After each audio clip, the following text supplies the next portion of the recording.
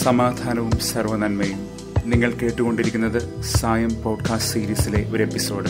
ഞാൻ കപ്പുച്ചൻ സന്യാസ വൈദികനായ ജയന്ത് മേരി ചെറിയാൻ. ഹെബ്രായർക്കെഴുതിയ ലേഖനം കടന്ന് നാം ഇന്ന് ഉൽപ്പത്തി ഗ്രന്ഥത്തിലേക്ക് എത്തിച്ചേർന്നിരിക്കുകയാണ്. ഉൽപ്പത്തി ഒന്ന് ഒന്ന് മുതൽ പത്തൊമ്പത് വരെ. രണ്ട് സൃഷ്ടി വിവരണങ്ങളുണ്ട് ഉൽപ്പത്തി പുസ്തകത്തിൽ ഒന്നാം അധ്യായത്തിലും രണ്ടാം അധ്യായത്തിലും. ഒന്നാം അധ്യായത്തിൽ എല്ലോഹിം ദൈവം എന്നൊരു വാക്കാണ് കൂടുതൽ ഉപയോഗിക്കപ്പെടുന്നതെങ്കിൽ രണ്ടാം അധ്യായത്തിൽ നാം കാണുന്നത് കർത്താവ് യാഗ്വേ എന്ന വാക്കാണ്. ഇതും മറ്റു പല കാരണങ്ങൾ കൊണ്ടും ഈ ഭാഗങ്ങൾ വ്യത്യസ്ത സമ്പ്രദായങ്ങളിൽപ്പെട്ടവർ എഴുതിയതാകാം എന്ന് കരുതപ്പെടാറുണ്ട്. അങ്ങനെയാണെങ്കിൽ ഇന്ന് ഉൽപ്പത്തി ഒന്നാം അധ്യായം ഒരു പുരോഹിത സമ്പ്രദായത്തിൽപ്പെട്ട പ്രീസ്ലി ട്രഡീഷൻ എഴുത്താണ്. അതൊരു ആരാധനാക്രമ ഗീതവുമാണ് ലിറ്റജിക്കൽ ഹെം ദൈവം എല്ലാത്തിനെയും സൃഷ്ടിച്ചു പക്ഷെ എങ്ങനെ സൃഷ്ടിച്ചു എന്ന് വിവരിക്കുന്ന ശാസ്ത്ര വിവരണങ്ങളല്ല വിശുദ്ധ ഗ്രന്ഥകാരന്മാർ ഉദ്ദേശിക്കുന്നത്. ദൈവവും അവിടുത്തെ സൃഷ്ടിയും തമ്മിലുള്ള അസാധാരണമായ അഗാധമായ ബന്ധം വിവരിക്കുക എന്നതാണ് അതിന്റെ ഉദ്ദേശം തിയോളജിക്കൽ മീനിങ് ഹെബ്രാർക്കെഴുതിയ ലേഖനം നാം പിന്നിട്ട് വരുന്നതുകൊണ്ട് ഒരു ഉൾക്കാഴ്ച അവിടെ നിന്നും കടം കൊള്ളേണ്ടതുണ്ട് ഹെബ്രാർക്കെഴുതിയ ലേഖനം ഒരു പുതിയ പുരോഹിത പാരമ്പര്യം പഠിപ്പിച്ചു തന്ന ഗ്രന്ഥമാണ് the new and eternal priesthood ക്രിസ്തു നവ്യമായ നിത്യനായ പുരോഹിതനാണ് മഹാപുരോഹിതൻ. അവനർപ്പിക്കുന്ന നവ്യയാഗമാണ് സ്നേഹത്തിന്റെ പുതിയ നിയമം അനുസരിച്ചുള്ള യാഗം. മാത്രമല്ല നമ്മുടെ ആരാധനയുടെയും ആരാധനാക്രമത്തിന്റെയും ലിറ്റർജി സ്വർഗീയ മാനങ്ങൾ ശ്രീഹ പകർന്നു തന്നു. സ്വർഗവും ഭൂമിയും നാം വേർതിരിച്ച് കാണാറുണ്ട്. ലംബമായ രണ്ട് അടുക്കുകൾ പോലെ രണ്ട് ക്രമീകരണങ്ങളായിട്ട്. വേർട്ടിക്കൽ കോസ്മോളജിക്കൽ ഫ്രെയിംവർക്ക് എന്ന് നാം പറയും. അതുപോലെ തന്നെ ദൈവിക ക്രമങ്ങളെക്കുറിച്ച് തിരശ്ചീനമായ ഒരു ദർശനവും നമുക്കുണ്ട്. അത് സമയക്രമത്തിൽ പരന്നൊഴുകുന്നു സമയത്തിന്റെ പൂർണതയിൽ എത്തിച്ചേരുന്നു എന്ന്. ദൈവം സാധ്യമാക്കുന്ന സമയാധിഷ്ഠിതമായ ഒരു പരിവർത്തനമാണിത് എസ്കിറ്റലോജിക്കൽ നാം അതിനെ ഹൊറിസോണ്ടൽ ടെമ്പറൽ ഫ്രെയിംവർക്ക് എന്ന് പറയാറുണ്ട്. ക്രിസ്തീയതയിൽ ഇത് രണ്ടും സന്നിവേശിപ്പിച്ചിട്ടുണ്ട്. സ്വർഗവും ഭൂമിയും ഇടകലരുന്നു കാലക്രമവും നിത്യതയും ഇടകലരുന്നു. ഹെബ്രാർക്കെഴുതി ലേഖനത്തിൽ നാം ഇത് കാണുകയും ചെയ്തിരുന്നു. അതുകൊണ്ട് തന്നെ ദൈവവും സൃഷ്ടിയും ഇടകലരുന്നതിന്റെ വിവരണമാണ് നാം ഇന്ന് ഉൽപ്പത്തി പുസ്തകത്തിൽ ധ്യാനിക്കുന്നത്. തുടർന്നുള്ള എല്ലാ തിരുവചനങ്ങളിലും ഏറ്റവും നിർണായകമായി മാറുന്ന ഈ യാഥാർത്ഥ്യം ഉൽപ്പത്തിയുടെ ആദ്യ അധ്യായത്തിൽ തന്നെ പറഞ്ഞുറപ്പിക്കുകയാണ്. ദൈവവും സൃഷ്ടിയും പരസ്പരം വേർപെടുത്താനാവാത്ത വിധം ഇഴചേർന്നിരിക്കുകയാണ്. അത് ദൈവം തന്റെ കൃപയാൽ സൃഷ്ടിയിലേക്ക് ശക്തമായി ചെന്നെത്തുന്നതിന്റെ ഫലമായി സാധ്യമാകുന്നതാണ്. എന്തുകൊണ്ടാണ് ദൈവം തന്റെ സൃഷ്ടിയോടെ ഈ സ്നേഹബന്ധം പ്രകടമാക്കുന്നത് എന്ന് ചോദിച്ചാൽ അതൊരു അഗാധമായ ദിവ്യരഹസ്യമായി നാം തിരിച്ചറിയേണ്ടി വരും. A deep mystery. ദൈവം തന്റെ വചനം അയച്ച് എല്ലാം സൃഷ്ടിച്ചു എന്ന് പറയുന്നത് ഈ സുദൃഢമായ ബന്ധത്തെയാണ് ദ്യോതിപ്പിക്കുന്നത് വചനം അരുൾ ചെയ്യപ്പെട്ടപ്പോൾ എല്ലാം സൃഷ്ടിച്ചു എല്ലാം സാധ്യമാവുകയും ചെയ്തു. ഇന്നലെ നാം കണ്ടൊരു കാര്യമുണ്ട് ഡിലൈറ്റ് ആനന്ദം ദൈവിക ക്രമം മിഷ്പാത്തിലുള്ള നമ്മുടെ ആനന്ദം. സൃഷ്ടിയിൽ നാം കാണുന്നത് സകലത്തെയും ദൈവം എങ്ങനെ ക്രമീകരിച്ചുവെന്നാണ് തന്റെ അലംഘനീയമായ പദ്ധതി അനുസരിച്ച്. അത് അവിടുത്തെ സ്നേഹനീതിയുടെ പ്രകടനവുമാണ് മിഷ്പാത്ത്.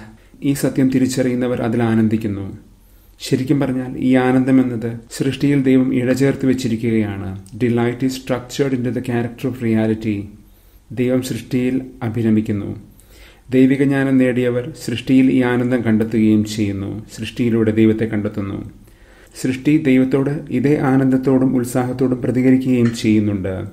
പോയി ഫലമണിയുക എന്ന് ദൈവം അവരോട് പറയുമ്പോൾ അവ ഒരു മടിയും കാണിക്കാതെ ദൈവഹിതത്തിനനുസരിച്ച് ഫലമണിയുന്നുണ്ട്. നാം ദൈവത്തിൽ നിന്ന് എത്ര അകന്നു പോയാലും ഈ ആദിമമായ ആനന്ദം ദൈവം നമ്മളെ പ്രതി പ്രകടിപ്പിക്കുന്നു എന്നതും ശ്രദ്ധേയമാണ്. ജെറമിയ മുപ്പത്തൊന്ന് ഇരുപത്. പക്ഷെ ദൈവം ആനന്ദം കണ്ടെത്തുന്ന നമ്മളിൽ അവിടുന്ന് നോക്കുമ്പോൾ നീതി മിഷ്പാത്തിന് പകരം രക്തച്ചൊരിച്ചിൽ മിഷ്പാഹ് ആണ്. ഏഷ്യ അഞ്ച് ഏഴ്. സൃഷ്ടി ഒരേ സമയം ദൈവത്തിന്റെ സാന്നിധ്യം ക്ലോസ്നെസ് പിന്നെ അവിടുത്തെ വിദൂരത ഡിസ്റ്റൻസും പ്രകടമാക്കുന്നുവെന്ന് നാം ഇതിനാൽ തിരിച്ചറിയേണ്ടതുണ്ട്. നമ്മെ സ്വതന്ത്രരായി വിട്ടുകൊണ്ട് ദൈവം പാലിക്കുന്ന അകലമാണത്. നമുക്ക് വളർന്ന് ദൈവത്തോളം എത്താൻ പക്ഷെ അപ്പോൾ പോലും നമ്മെ വിടാതെ പിന്തുടരുന്ന കൃപയുടെ നിതാന്ത സാമീപ്യമാണ് അവിടുന്ന്. ദൈവം സൃഷ്ടിയിൽ ആനന്ദം കണ്ടെത്തുന്നു. സുഭാഷിതം എട്ട് മുപ്പത് മുതൽ മുപ്പത്തൊന്ന് വരെ. ബാബിലോൺ പ്രവാസത്തിൽ തകർന്നടിഞ്ഞ ജനത്തിന് പ്രത്യാശ പകരുന്നൊരു ഗീതമാണ് ഈ ഉൽപ്പത്തി വിവരണം. ബാബിലോണിന്റെ അതിദേവന്മാർ ആർത്തട്ടഹസിക്കുകയാണ്. കർത്താവിനെ പരിഹസിച്ചുകൊണ്ട് അവരുടെ രാജാക്കന്മാർ ജനത്തെ അടിച്ചമർത്തുമ്പോൾ അപ്പോൾ ഒരുപക്ഷെ ആ ജനം നിശ്ചയിച്ചുറപ്പിച്ചു കാണും നമ്മുടെ ദൈവത്തിന് നമ്മെ രക്ഷിക്കാനാകില്ല എന്ന്. എന്നാൽ ആ ചിന്തയുടെ മേലുള്ള ശക്തമായ തിരിച്ചടിയാണ് ഉൽപ്പത്തി വിവരണം. ദൈവം ഒടുങ്ങിപ്പോയിട്ടില്ല അവിടുത്തെ കരബലം അടങ്ങിയിട്ടുമില്ല. ഇസ്രായേലിന്റെ ഇടയന്മാർ തോറ്റെടുത്ത് മഹാ ഇടയനായ കർത്താവ് തന്റെ ജനത്തെ വീണ്ടെടുക്കാൻ വരുന്നു. ഇന്ന് സുവിശേഷത്തിൽ നാം ഇത് കാണും. മഹായിടയന്റെ സ്നേഹവാത്സല്യവും തന്റെ ജനത്തെ പ്രതിയുള്ള ഉത്കർഷവും ഇന്നലെ കണ്ടതുപോലെ തന്നെ. ഈ ഇടയനും ആടുകളും തമ്മിലുള്ള ബന്ധം ബാബിലോൺ പ്രവാസത്തിൽ നിന്ന് തിരിച്ചു വരുന്ന ഇസ്രായേലിന്റെ ജീവിതാനുഭവം തന്നെയാണ്. ഇന്ന് സങ്കീർത്തനം നൂറ്റിനാല്. ആ സങ്കീർത്തനത്തിന്റെ ഇരുപത്തി വാക്യം സൃഷ്ടിയെ പ്രതി ദൈവം കണ്ടെത്തുന്ന ആനന്ദം വിവരിക്കുന്നുണ്ട്. ആ സങ്കീർത്തനം സൃഷ്ടിയെ ആധാരമാക്കിയ ഒരു സ്തുതികീർത്തനവുമാണ്. എന്റെ കർത്താവ് എന്ന തീവ്രമായ അടുപ്പം പ്രകടമാക്കുന്നൊരു പ്രയോഗം ഈ സങ്കീർത്തനത്തിന്റെ തുടക്കത്തിലും അവസാനത്തിലുമുണ്ട്.